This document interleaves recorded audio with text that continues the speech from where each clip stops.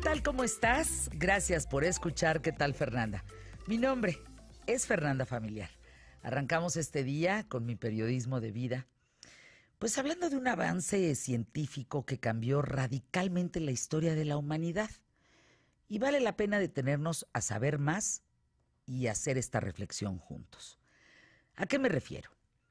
Antes de la aparición de esto que, de este avance científico, de esto que cambió radicalmente la historia de la humanidad, pues la esperanza de vida era muy corta. Una de las grandes pandemias que arrebató la vida a millones de personas fue la sífilis. Siglo XV aparece por primera vez en Europa y arrasa, porque es una enfermedad infecciosa, transmitida principalmente por un tema de contacto sexual, y hasta principios del siglo pasado pues se consideraba tan mortal como en su momento, sin grandes investigaciones ni conocimiento, fue el VIH. 1944 surgió un nuevo tratamiento a base de un descubrimiento que revolucionó la medicina en el mundo. Sí, hoy vamos a hablar del antibiótico hasta 1944. Fíjense. ¿Qué tanto sabes tú de un antibiótico? ¿Qué sabemos? Bueno, antibiótico, pues lo que siempre se empieza uno aprendiendo, ¿no? El antibiótico es, significa contra la vida, contra los microbios. Hay varios tipos. Hay antibacterianos, antivirales, antimicóticos y antiparasitarios. Entonces aquí podemos más o menos entender tú y yo que los antibióticos atacan bacterias, hongos, virus y parásitos. Así es. Hasta ahí vamos. Para eso sirven. Ahora, en el caso de los medicamentos que son eficaces contra varios organismos, son antibióticos de amplio espectro. No sé si alguna vez habías escuchado ese término. Los que solo eliminan unos cuantos organismos, pues es antibiótico de espectro reducido. El caso es que de lo que más nos enfermamos nosotros o lo que más tenemos que atacar en exceso en nuestro cuerpo son las bacterias, por decirlo así. Es una infección de oído, pues recetan ampicilina. O penicilina, por ejemplo, si es una infección de garganta por estreptococos. En fin, ese es un antibiótico que tiene que ver con bacteria, que es el uso más común, los antibacterianos. Ahora, históricamente, las enfermedades más graves que alguna vez han matado a miles de jóvenes, pues han sido casi eliminadas en muchas partes del mundo por el tema de las vacunas, que hemos hablado recientemente aquí de, este asunto, de la importancia de las vacunas. Ahora, aunque millones, miles de millones de bacterias microscópicas, pues que normalmente viven en nuestra piel, en nuestro sistema digestivo, en la garganta, en la boca, son inofensivas. Algunas son patógenas, es decir, si causan enfermedades, pero la mayor parte ¿Se imaginan la cantidad de bichos que nosotros ahorita tenemos adentro del cuerpo?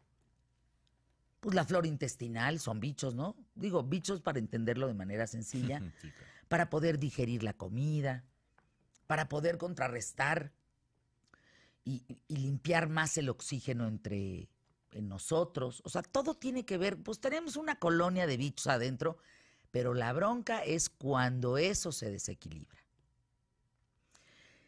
El sistema inmune de nuestro cuerpo, pues está hecho para pues, combatir varias infecciones bacterianas, que no todo el tiempo que entre una bacteria nos enfermemos, pues por eso está el sistema inmune. A principios del año 1900, antes de la aparición de los antibióticos, pues no se tenían medicamentos para muchos de estos gérmenes. Y el sufrimiento humano pues era terrible. Ejemplos específicos. Fíjense, antes de los antibióticos, el 90% de los niños se contagiaban de meningitis bacteriana y morían. Los sobrevivientes vivían con sordera o retraso mental. Infecciones de garganta, nombre, mortales. Usted morías. Las de oído, pues, ¿qué creen? Pasaban al cerebro. No había manera de detenerlas.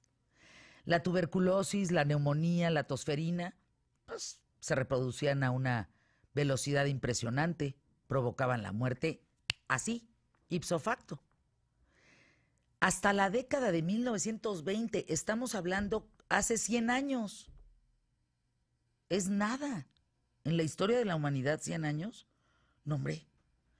Imagínate, en la década de 1920 aparece un científico británico, pues que se llama Alexander Fleming. Ese nombre no se nos puede olvidar, porque pues él se encontraba trabajando ahí en su, laboratorio en el Hospital St. Mary en Londres. Y por accidente, este señor Fleming descubre una sustancia de crecimiento natural. Fíjense, sustancia de crecimiento natural que podía acabar, atacar, combatir, matar a ciertas bacterias. En uno de sus experimentos, por allá de 1928, Alexander Fleming observó lo siguiente. Las colonias de la bacteria Staphylococcus aureus habían sido eliminadas por un moho, o sea, bacteria, moho es hongo, ¿no? Entonces, esa bacteria, él se da cuenta que hay un, un hongo, pues un moho que crece en ese mismo plato, por decirlo así, y se come a la bacteria. Y dice, Ay, pues, pues este moho se da cuenta Alexander Fleming que producía una sustancia que podía disolver las bacterias. Entonces, a esta sustancia, nada más y nada menos, la importancia de un tipo que observa y que está en su laboratorio y que le sabe y que pues nada más imagínense, ese hombre a esta sustancia que provoca ese moho para acabar con las bacterias, pues le llama penicilina por el nombre de ese moho específico, que es penicillium. Por eso se llama penicilina, que es lo que la produce, ¿no? Llegan las siguientes dos décadas. Este señor Alexander Fleming y otros investigadores realizaron experimentos con esta penicilina, con este moho. Tomaron los cultivos de este moho que destruían bacterias, no solo las así, pues, débiles, no, no, las fuertes las que podían salvar a la humanidad, pues de no morirse de esto que les decía, de tuberculosis, de un problema de oído, de meningitis, de calentura, en fin. En poco tiempo, en Europa y Estados Unidos, se empieza a probar apenas 1928, 30, imagínate. Es, es, muy poco, es decir, el descubrimiento es muy reciente.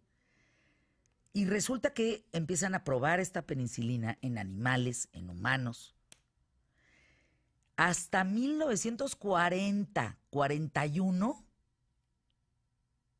descubren que incluso los niveles bajos de penicilina en una dosis determinada con repetición tantas veces al día, palabras sencillas, curaban infecciones graves y salvaban la vida de muchísimos seres humanos en la faz de la Tierra, por lo menos allá en Europa y en Estados Unidos.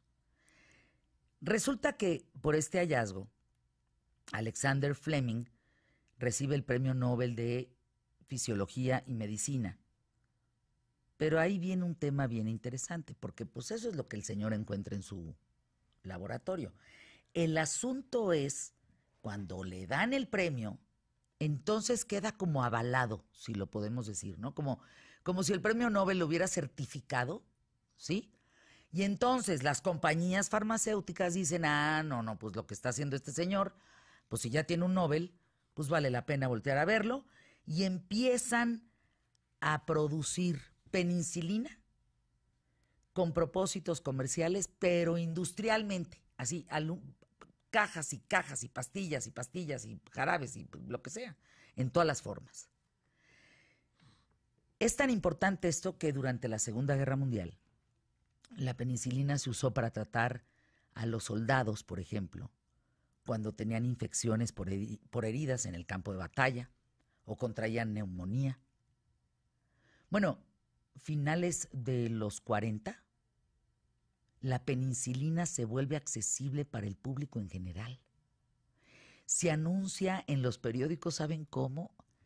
Descubrimiento del medicamento milagroso. Así presentaron a la penicilina. Hoy quizá tú dirás, ay Fer, pues ¿qué, qué tiene este tema? ¿Tú te imaginas este mundo actual sin penicilina? No, hombre, pues estaríamos desplomados todos. La influenza ya nos hubiera arrasado. Adiós. Imagínate cuánta gente en la Segunda Guerra Mundial se salvó por la penicilina. Ahora, los médicos hoy, pues tú llegas con tu médico, en fin, entre decenas de antibióticos, de tipos de, alégale, de todas las patentes, marcas y demás, pues tú puedes elegir entre el mercado de fármacos y él te puede recetar este, lo que él quiera, porque tú lo tienes a la mano. Y con el éxito de saber que si lo usas recurrentemente, o es decir, en la dosis que él te dice, puedes salir adelante. Ah, pero viene un problema. Y de eso vamos a hablar hoy. Antes, ¿en cuántos días se te curaba una gripe? A ti que me escuchas. ¿Tú, Emilio? Híjole, yo creo que en, cinco o seis días. A veces durabas con una gripe en lo que, en lo que ibas ya soltándola, ¿no? Sí. Sí, más o menos. Yo me acuerdo de en dos días estar fuera.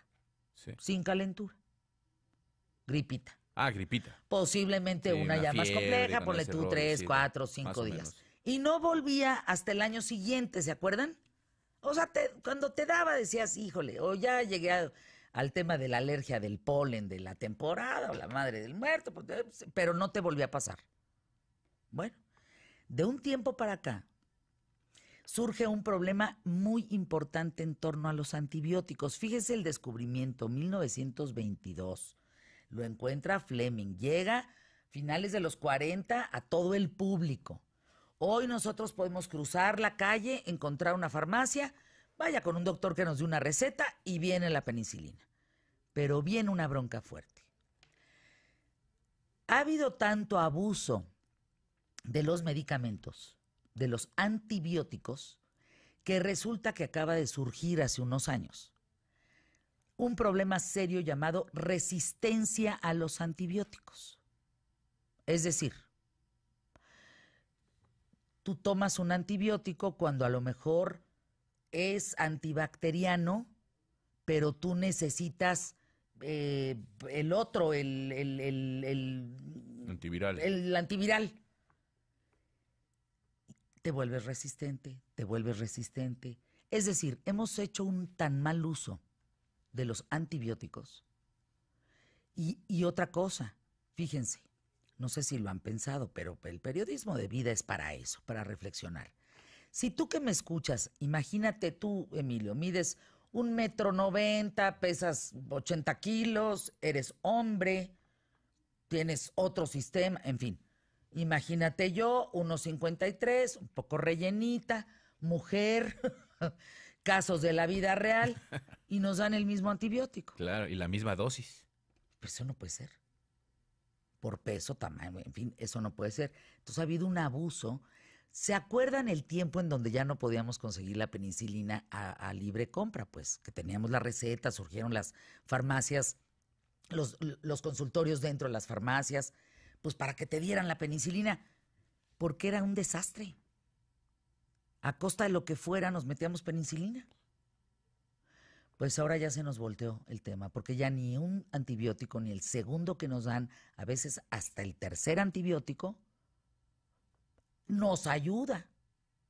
O sea, hay medio que el bicho se apague, pero hoy te da gripa, estás gripe, estás una semana tirado, con dolor, como si te estuvieras a punto de, entregar el cuerpazo, pero ¿qué crees? A los tres meses te vuelve a dar. Cualquier enfriamiento, pelas otra vez.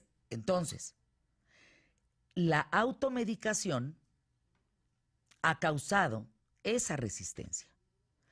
Entonces, los virus y bacterias han sido un poco más inteligentes que nosotros y se han vuelto inmunes a lo que les metemos ¿Tú te automedicas con antibióticos cuando estás enfermo? Porque siempre te queda una caja, ¿no? Ahí en tu casa de una que no terminaste, porque esa es otra. Acabamos los tratamientos. Los antibióticos no son un chiste en ese sentido, no los tomamos en serio. Si te dicen este antibiótico siete días, no te lo tomes cuatro. Tienes que terminarlo, por eso te vuelve a dar. Por ejemplo, a mí me funcionaba un antibiótico muy bien, porque aquí donde trabajamos, los aires acondicionados son muy fuertes, las máquinas lo necesitan, ¿no? Hay cambios de temperatura brutal. Ahorita tengo un frío en la espalda, pues porque tengo el aire acondicionado en la espalda directito. Mismo que yo me... ¿Qué, qué hago? Pues mismo que apaguemos. O, yo tonta, me debería de venir más tapada, porque vengo bastante destapadita. Pero fíjate, ya no nos funciona. No, no, no, no. Hay una una transformación, evolución de las cepas, de las bacterias, de los virus, que de alguna manera se hacen más resistentes, porque efectivamente a veces las dosis que nosotros nos automedicamos no son las correctas y viene viene estas, estas consecuencias. Pero otro, a otro caso que decías, yo no sé si es a propósito o no, esto que estabas diciendo de, de, que no terminamos los tratamientos. No sé si es una trampa o no, pero a mí me ha pasado que te dicen, tómese 10 pastillas, una por día, es un ejemplo, 10 pastillas, 10 días, una por día. Y compras y compras el medicamento y tómala, trae ocho pastillas. O sea, el, producto trae ocho pastillas. Sí, sí pasa. Y entonces terminas comprando dos, dos cajas. Por eso te, digo que siempre hay un sobrante. Te da 16. Entonces, la siguiente ocasión... Pues solo te dices, ocho. Y si dices, bueno, pues al cabo ahí las tengo, ¿no? Y como ya me enfermé, pues igual ahí me las tomo dos, tres días y ya. Entonces, eso también creo que provoca este, este asunto, ¿no? De que a veces los medicamentos son como incompletos. Vamos a hablar de, eso. ¿no? Me parece muy importante que podamos platicar de, pues esto, los antibióticos, porque si bien salva a la humanidad a partir de los 30, de los 40, pues no sabemos si esto va a catapultar hoy, porque los bichos son bien abusados, esos se están potenciando, esos, esos, si no le encuentran por acá, le buscan por allá. Claro. El caso es que quieren vivir. Exacto. Pues, ¿No? Entonces, alégale. Nosotros estamos siendo muy irresponsables en el consumo de los antibióticos. Hemos sido, y este es, ahí está, la humanidad hoy está viviendo, así como tuvo la penicilina de Alexander Fleming, hoy está viviendo una resistencia a los antibióticos.